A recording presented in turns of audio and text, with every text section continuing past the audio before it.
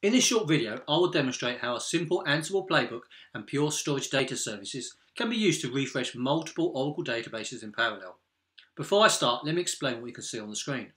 In the dark green panel, you'll see the running Ansible playbook. In the top right corner is a clock showing the time. In the bottom blue panels, you can see six virtual machines, Z Oracle 2 through to Z Oracle 7.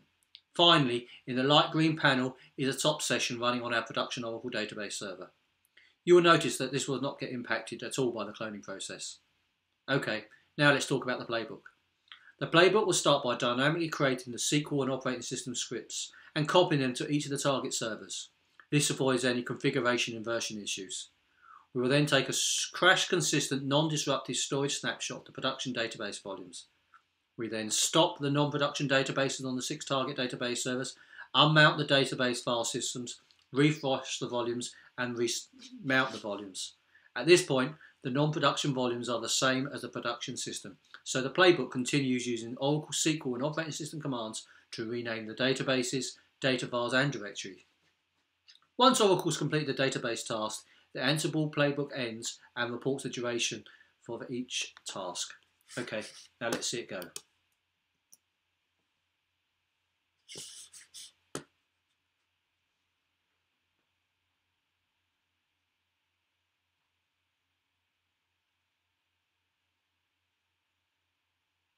Okay, we are now shutting down the Oracle databases on our non-production servers.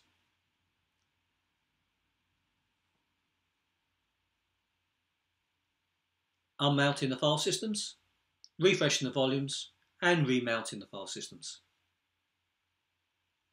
We will now start the databases up on our non-production database servers. And as you can see, they've come up with the same name as production.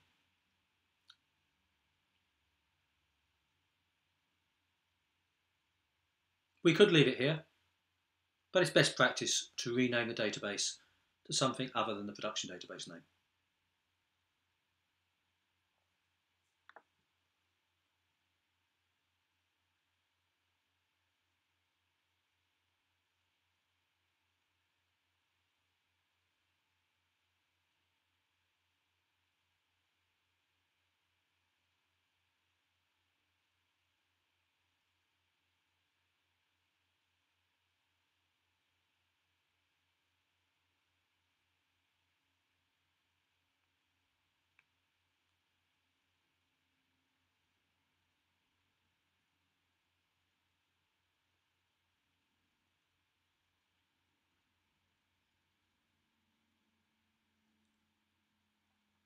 We will now bounce the database as we rename the databases.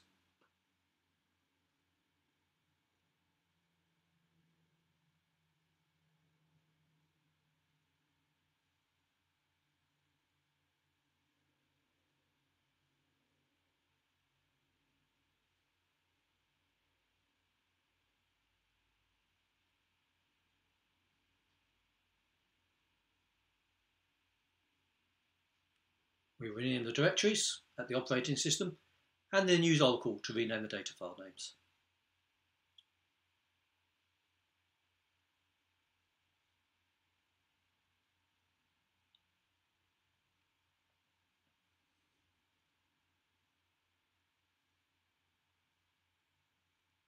And there you have it.